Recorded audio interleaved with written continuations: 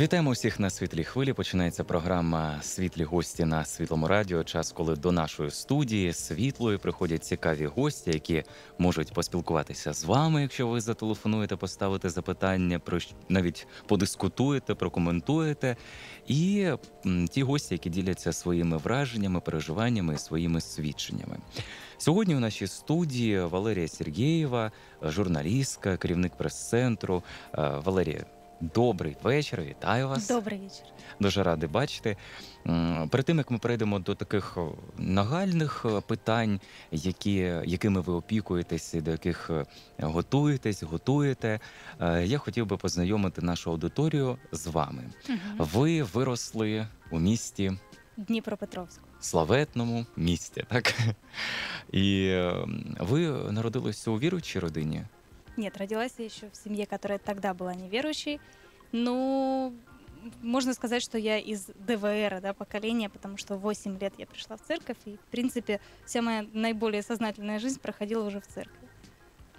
Так. А як е, ви все ж таки, ем, як вам розповідали про церкву, про Бога? Як формувалися ці християнські погляди?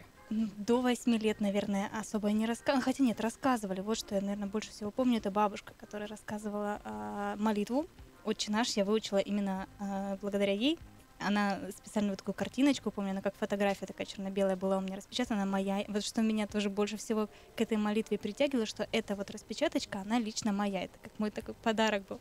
И вот а, бабушка мне заповедала ее все время ложить под подушку, когда ты ну, спишь, вот прочитать и положить под подушку. И вот, наверное, с этого момента мое, наверное, индивидуальное отношение с Богом, наверное, начинались вот с этой такой вот а, акта такого еженочного, знаешь, закладывания под подушку молитвы «Отче наш». Вот. И потом постепенно, конечно, там где-то ма- с мамой попадали в православные храмы на служение, там понемножку. А, Вот. Ну и это такое первое знакомство с Богом, наверное. А когда уже это, ну, то, что я сейчас знаю, да, как мы приходили к этому, это уже когда в церковь попала, что важно. а, пришла я в 8 лет в церковь не потому, что мама просто уверовала и нас там с сестрой взяла, а она нам долго сначала рассказывала, куда она ходит, что там происходит, при этом, ну, не беря нас просто за руку, то есть она ждала нашего личного решения, пока мы не сказали, мам, а мы хотим с тобой. И вот тогда уже, то есть, по сути, даже в 8 лет прийти к Богу, это было мое индивидуальное решение на тот момент, такой уже личности, которая захотела видеть, что там. А що означає знати Бога?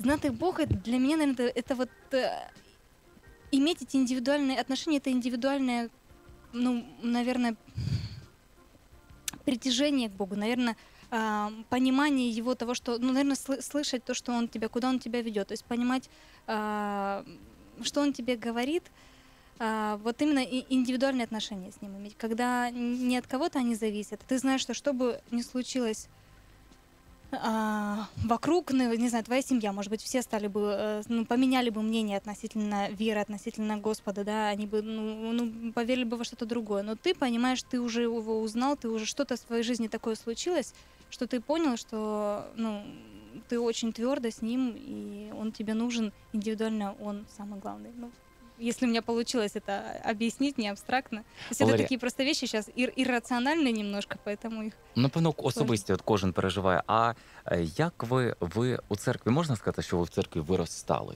Конечно. Тобто було якесь Я больше служіння? В нигде чому и не вырастала. тобто були задіяні повністю? А чим Конечно. були задіяні? От як от ваші підліткові роки?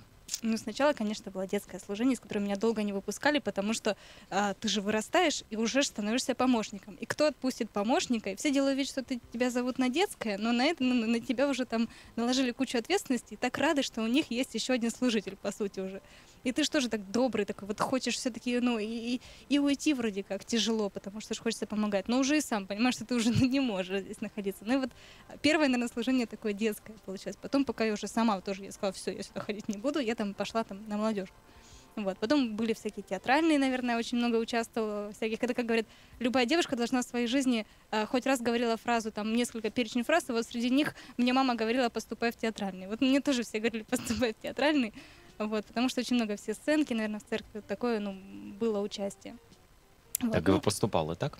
а, что? Готувалися вступити е, до театральної Нет, я понимала, что совсем ну, попасть в эту сферу я бы не хотела. Ну, видеть себя всю жизнь актрисой И это как основное занятие, наверное, мне было тяжело. Вот чего-то хотелось такого, какой-то деятельности другой, потому что актриса, мне казалось, это такое просто, ну, как бы я звезда и все. Вот мне почему-то в детстве, а хотелось какой-то борьбы, что-то в жизни, там, в жизни других людей менять, да, что-то такое делать вообще в целом в мире, в обществе. Поэтому актриса ушла на второй план, и вышел журналист. Журналіст. А чому? Як ви про- просто як е, відчули, що у вас є хист? Як відчула, що в мене є хист? Ну, я не знаю, сказать, что я хист, я даже до сих пор, как человек самокритичный, я могу сказать, что вот не знаю, есть у меня хист или нет, но просто я взяла для себя эту сферу, я никуда от нее не отступлюсь. В общем, хочет она или не хочет, я буду ею заниматься.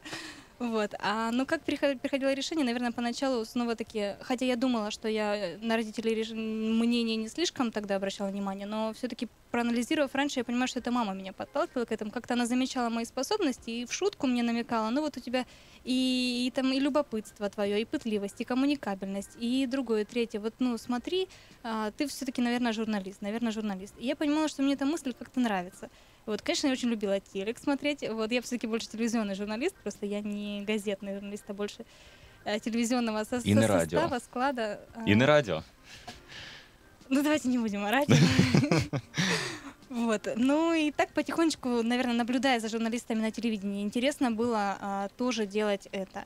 И, ну, собственно, потом так как-то и пришло решение потом к журналистике уже, наверное, с 9 класса. Я четко определилась, что я хочу на журналистику. Вся школа знала, все учителя, директор. На выпуске она меня поздравляла и желала удачи в журналистском пути. То есть вот все уже знали, ну, это было действительно решение уже такое давнешнее, которое оно не, не менялось со временем и сейчас. Я тоже знаю, что оно было. А як ви Так. зрозуміли, що це не просто от ваше бажання, просто ви от захотіли, е, а що це насправді от е, покликання від Бога? Це важливо для вас було зрозуміти, от е, знайти це покликання? Для мене дуже важливо знайти покликання, тому що без покликання я вважаю взагалі нічого робити не треба. А от про те, як його можна знайти, ми поговоримо після пісні у виконанні Олега Майовського Благовоління. І нагадаю, що в нашій студії Валерія Сергієва, журналістка. Ми в прямому ефірі 280 03 05.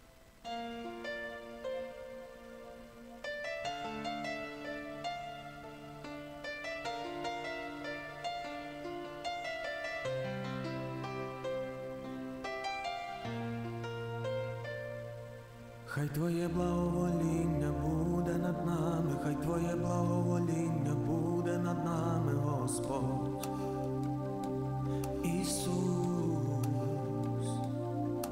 хай Твоє благовоління буде над нами, хай Твоє благовоління буде над нами, Господь. Ісус, так навчи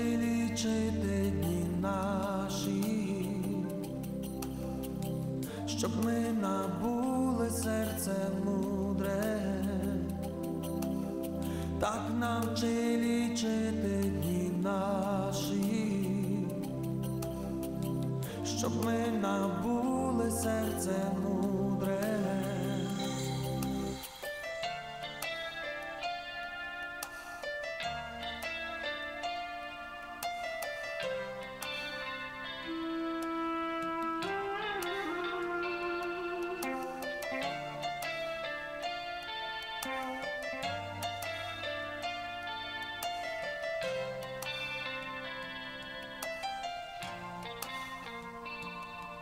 Хай Твоє благовоління буде над нами, хай Твоє благовоління буде над нами, Господь. Ісус, хай Твоє благовоління буде над нами, хай Твоє благовоління буде над нами, Господь. Ісус, ти нас насити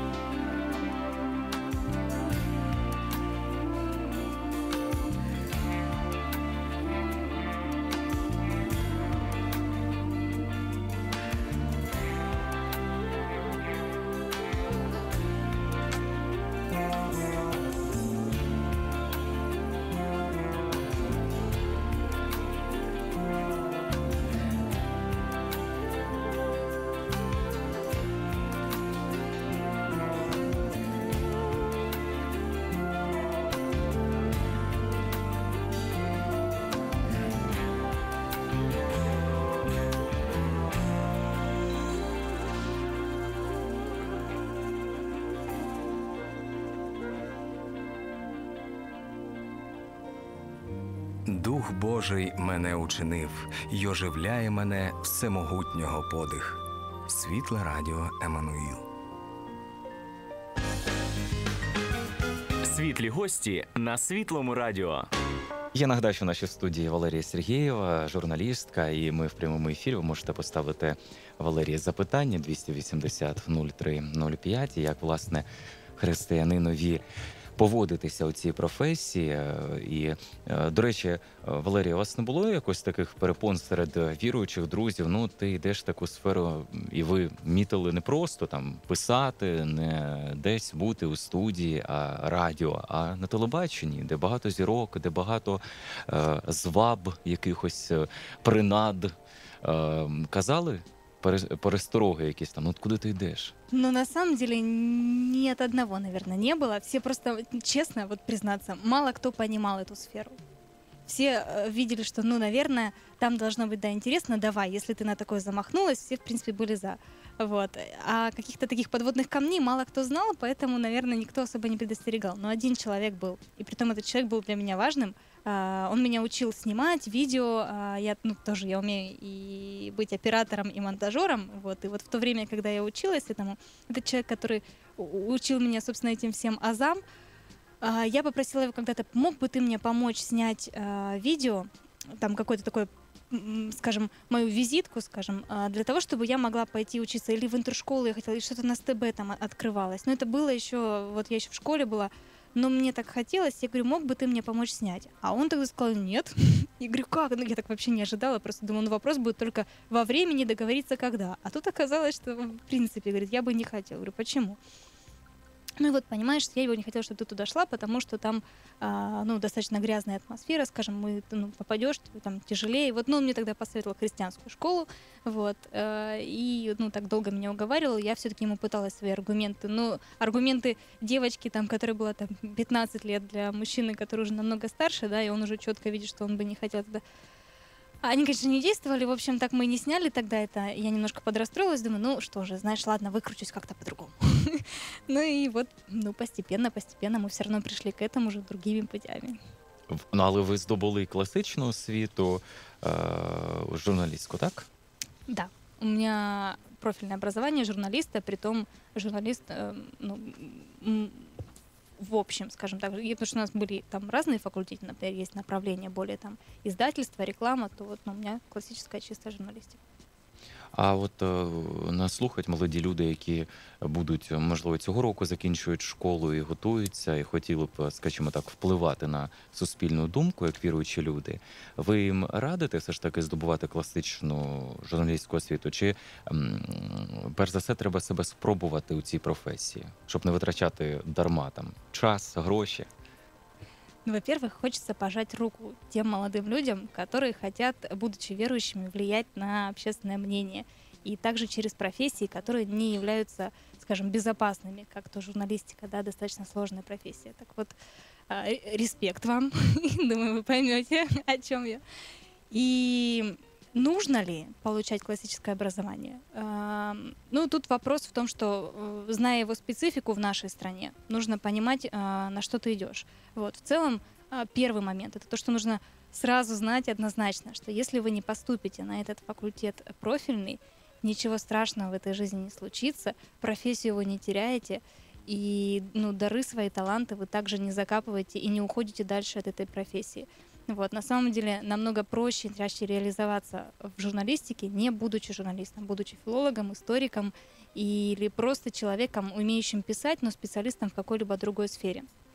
Вот, второе, а, получить профильное образование все-таки я считаю полезным до сих пор, хоть я пять лет отучилась в украинском вузе, вот, но ну, и многие там разочаровываются по истечении этого времени. Я считаю, что стоит, вот, но просто нужно... Але вже до вступу, перепрошую, що перебив, до вступу ви вже пробували себе в цій професії, так? Якось ну щось писали, чи по- просто так, от е, Вот у меня до поступления были только мечты, м, были теоретические какие-то познания, которые я сама могла там за кем-то понаблюдать, что-то понимать, себе вывести. По сути, вот таких вот знаний четких. Ну и, конечно же, все мы, кто поступаем на журналистику, мы хорошо пишем сочинения в школе. И считаем, что это одно из наших главных достижений для того, чтобы прийти к этой профессии. Вот, собственно, я тоже хорошо писала сочинения в школе. И я думала, что... літо. Да? Да, и я думала, что там, как я прочла Нотр-Дам де Пари и тому подобное, и вот все зачитывались, учителя, и я думала, что, собственно, я уже готовый журналист, что мне еще, у меня все хорошо.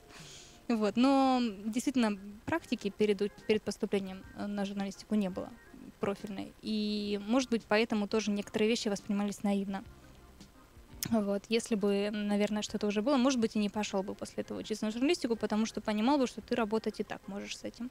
Вот. А образование уже даже не знаю, какое бы в таком случае выбрала, потому что для меня журналистика сразу просто я ее как, вот как увидела, что она мне интересна. И, наверное, с тех пор ни разу я не могла себе представить себя в какой-то другой сфере. То есть я понимала, что, ну ладно, ну многое мне там не нравится на моем факультете. Одно, второе, третье, вот то мне и вообще профессия. Вот мы сейчас выйдем после пяти лет образования, и кто мы, а не кто мы. И вот, ну, это, это все с этим сталкиваются. Но подумать об альтернативе, ну окей, не нравится тебе здесь, иди куда-то в другое место, на другой там, а, получай другой диплом. Я понимала, что я, ну, ничего другого мне не интересно, мне настолько интересна эта сфера, поэтому осталась уже в ней, и, ну, вот так вот. Я думаю, что тем, кто действительно видит, что ему интересна данная профессия, есть смысл идти на профильные факультеты, но, по крайней мере, все время держать у себя на фокусе, что тебе нужно больше практики.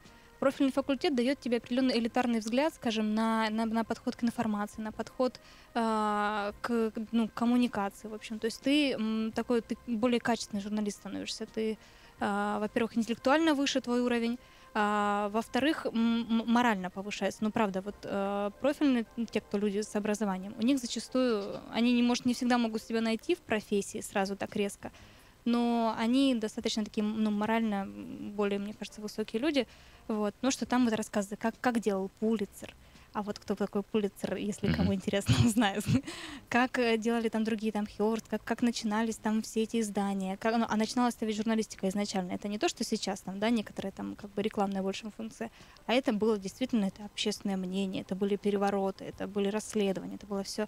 Вот. И когда ты знаешь именно вот такие истоки, ну, какое-то отношение складывается к этой профессии, ну, немного, мне кажется, более такого высокого характера, и хочется что-то делать такое же, продолжать вот и здесь. Поэтому это она дает, ну, учеба на профильном факультете, но практики не так много. И вот нужно все время понимать, что не жди практики здесь, параллельно практикуйся как можно больше где-то, работай, ищи э, вот возможности научиться вот этому всему уже в, в работе практической. Валерія, от е, у багатьох людей, які е, от є такі професії, мені здається, не знаю, погодитись чи ні, вони ну трішки можуть суперечити ось тим уявленням віруючих людей, які виросли в це у церкві, читають Біблію, відвідують постійну церкву. е, Що певні професії не дуже притаманні християнам. Ми не раз обговорювали це в ефірі. Це стосується артистів. е, Ну якось воно дуже важко там. е, і от у журналістиці, наскільки ми помічаємо, це не тільки зараз. Ось певний такий принцип, що ти маєш досить холодно реагувати на якісь такі моменти співчуття, що ти маєш бути цинічним. Якщо навіть скептичным. побачимо таку журналістику, якщо ви е, пам'ятаєте, ну от у Чарльза Дікенса записки Піквікського клубу, то ось постійно ці боротьба двох газет між двома кандидатами, що вони одне одного поливали брудом. Я от згадав про цей варіант. Що чим е, ти гостріше будеш писати, е, чим більше ти зможеш образити людину, можливо, в якомусь певному сенсі, викрити її якісь такі негативні риси, тим більше ти будеш е, успішним у цій професії. тем более умным ты выглядишь. Ну, на самом деле, это так, это отходя немножко лирическое вступление, во всем, даже по соцсетям мы можем заметить, негативный комментарий всегда выглядит более умным, чем позитивный. Ну, и это, собственно, просто факт и такое, скажем, эм, превратности восприятия, скажем, я думаю. Поэтому нужно просто понимать, что, ну, уже человек, который, ну, эм, скажем, более взросло воспринимает действительность, он понимает, что негативный комментарий всегда это зачастую за этим скрыты, э, ну, на самом деле, слабости человека, который пишет вот, негативные вещи. Собственно, это так. Отступили, возвращаемся к теме профессии, которые не свойственны христианам. Да? И я думаю, что да, журналистика частично относится к этой, к этой категории профессий. Но при этом у нее есть поразительная вещь, она в то же время, она намного более свойственна христианам, чем какая-то другая, потому что это именно то, это именно та четвертая власть, это именно возможность э, доносить людям истину, это возможность, как Бог говорил, проповедуйте, несите Евангелие. Это именно вот то место и есть, где ты можешь говорить Евангелие, истину намного большему количеству людей, чем когда ты даже на проповеди стоишь, потому что ты разносишь информацию. Вот, вот она такая одновременно, понимаете? Ми часто помічаємо те, що то, ну, от зараз такий потік різної інформації, е, не тільки негативної, просто неправдивої інформації і засобів масової інформації. У е, соціальних мережах ви про них е, згадали. Е, Як все ж таки фільтрувати? Або е, треба е, відокремитись від цього, ізолюватися церкві, людям віруючим, чи якось фільтрувати? Як навчитися цьому? Вы Цього. сказали о критичности, а, а даже скептицизме неком. Вот он должен быть присущ не только журналистам, но и читателям, и зрителям, и любому христианину. Хотя, казалось бы, да, это не то качество, которое можно назвать светлым а, и там, вот таким вот позитивным. Ну и, наверное, именно с этой критичности и начинается правильное восприятие действительности информации. Когда ты читаешь э, статью, ты начинаешь понимать, ну окей, мне написали одно, но я пытаюсь понять между строк сейчас прочесть, что же все-таки тут, а, что же тут не так. Вот, и начинать, ну, грубо говоря, придираться, да. И вот когда ты это делаешь к любой информации, тогда ты можешь найти, э, ну, моменты, которые на самом деле совсем по-другому ее прочесть тогда. И как понять, вот есть несколько принципов, как распознать информацию, которая а, на самом деле, ну, она ложная или она абсолютно субъективная или, ну, ну в общем, неправдивая совершенно и манипуляционная. Так вот, у нее зачастую а, одно направление высказано, один источник а, мнения, и как можно меньше фактов. То есть вот названий, имен, а, там, дат, мест, вот этого всего. Як зазначають експерти, і не написано які, да? Да, да, да, да, да. Вот эксперты, кто-то нам где-то сказал, а, вот, ну, я не знаю, могу ли я рассказать к- ярк такой конкретный пример, как это было. Э, Не не так давно я заметила в одном из наших украинских очень, э, ну, очень популярных изданий, которое составляет общественное мнение а, очень большое количество украинцев. Вот там была а, такой маленький материал о выставке э, на тему однополой любви, фотовыставка. И вот они говорят, что к нам зашли э, люди, которые, ну, в общем, катастрофа. Мы сделали выставку, а нам ее разгромили. И кто это сделал? Вот, ну, все так плохо рассказано, очень долго рассказывается в ярких красках, как все было плохо, что им сделали, а потом э, комментарий, прямая, там, прямая речь одного из организаторов, э, мы думаем, что, скорее всего, это вот э, активисты там движения там любовь против гомосексуализма, а потому что ну помо- по- похоже, что кто-то это из них. Вот мы так подумали. И да, дальше опять говорится, люди были в масках, и вот только именно эти там вот это движение они заявляли, они там были против, скорее всего это им не нравится. Ну вот и, и дальше там Мгм. опять вот рассказывается, а, какая была хорошая выставка. Теперь позитив, что они хотели сделать. То есть получается ни одного факта, ни одного ничего, но вот эмоционально создается вот такое впечатление, что действительно ведь, ну потому что название заявлено, ему, а, скажем, оформление должное придано, вот, вокруг у него там негативные факты, и это, скорее всего, действительно им там было. И потом дальше жалостливые комментарии, какие они хорошие, но организаторы, и вот как так... То есть А ті такі агресивні. Ну, немає такої. Ну, тут не в том дело даже там в каком-то личностном там отношении, да там моем или ком, а вот то, что ты действительно ты читая, понимаешь, что ну, настолько удивило меня очень просто тогда то, что издание, которое очень качественное и которому я доверяю, которое я, в принципе, сама читаю, оно вот, вот я, но настолько ярко манипули- мани- мани- манипулятивный материал выставляет, вот, где нет ни одного, ни одного другого, нет второй стороны, вот, есть какое-то вдруг заявление, и ни, ничем не подтвержденное, и даже не написано, кто это сказал, собственно, там прямую речь даже. і по-моему, не вихід было у освещено. тому, що просто ви пропонуєте, щоб більше людей, віруючих, грамотних, розумних, приходили у засоби масової інформації, працювали і показували вже свою точку зору професійно. Ви теж так думаєте, да? Ви погоджуєтесь? Я, звісно, погоджуюсь. Именно поэтому, ну, потому что, собственно, я это сделала. Вот, поэтому тут, наверное, знаете, я не словами соглашаюсь, но действиями, которые, собственно, сделала уже я в своей жизни. І в нашій студії нагадаю Валерія Сергієва, журналістка, керівник прес-центру. Ми в прямому ефірі поговоримо про подію, яка наближається, і у якій бере участь у підготовці наша гостя. Світлі гості на світлому радіо. Сьогодні в нашій студії гостює Валерія Сергієва, журналістка, керівник прес-центру. І разом з тим Валерія бере участь у підготовці до форуму Новомедіа. Він завжди себе позиціонував як форум християнських засобів масової інформації, запрошуючи на форум власне і е, представників не обов'язково релігійних видань, але різних різних сфер. Е, Чим буде особливий цьогорічний форум? Чем буду особливый? Даже не знаю, с чего начать. Столько особенностей. И о чем бы Починаєте сказать з першої. таком самом особенном. Наверное, в этом году мы э, решили поменять не только место проведения на более лучшее и изменить а, оформление и еще что-нибудь, но мы э, сделали акцент в этом году на темах. Если у нас в прошлом году мы больше как-то думали о спикерах, чтобы у нас были какие-то интересные личности, в этом году личности не менее интересные, а даже более их много. Вот, но при этом мы э, подготовили больше тем, которые могли бы быть актуальны для людей, которые занимаются этой профессией. При том, а, что уникально, это единственная площадка во всей стране, где представлены все типы средств массовой информации. И радио, и интернет, и телевидение, и пресса, журналы, и также ну, новые медиа, да, сайты, э, ну, социальные сети и тому подобное. Вот. И, собственно, мы выбирали по максимуму темы, которые интересны а, людям, которые работают в этих вот всех этих подразделениях средств массовой информации. Вот, которые сейчас наиболее такие горящие, животрепещущие. И вот, собственно, чтобы человек мог получить наиболее, м, ну, в общем, как можно больше практической информации для себя, которая сейчас, в данное актуальное время, он будет применять. В чому заключається ваша робота от, ну, у підготовці? Практично. Моя работа в подготовке сейчас как-то так случилось, что и здесь пресс-центр. Вот, мы отвечаем за то, чтобы написать новости об этом, чтобы снять репортаж, чтобы, собственно, все после этого узнали, что же было на а, форуме, даже те, кто там не был. Но э, сразу сообщаю для тех, кто там не был, мы расскажем совсем мало. А вот наибольше, боль- больше всего самого важного узнают те, кто там будут.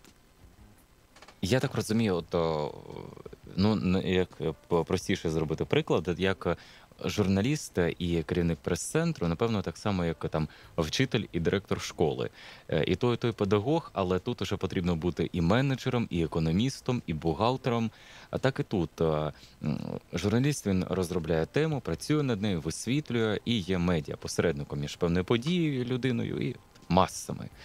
А тут у вас е, зв'язки. Ко- Які треба риси мати, от займаючись такою професією? Які, Ну, первая стрессоустойчивость.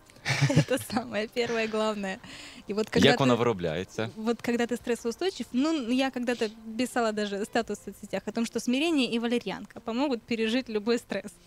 Так вот, вот и одно от другого неотделимо. Смирение без валерьянки тоже э, тяжело переносится организмом, а валерьянка без смирения тоже, в общем, неэффективно, потому что потому что неэффективно, сами понимаете. Крім стресів, що ще? А, второе качество, наверное, это умение сразу а, глобальное видение такое вот, а, что тебе нужно сделать, его разложить на четкие конкретные действия. Вот такую системность, когда ты увидел, как это сделать, и ты берешь и по кусочкам этого слона съедаешь, скажем так, большого.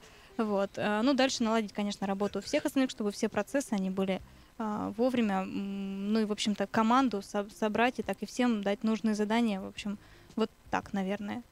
Плюс быть компетентным во всех сферах тех заданий, которые ты раздаешь.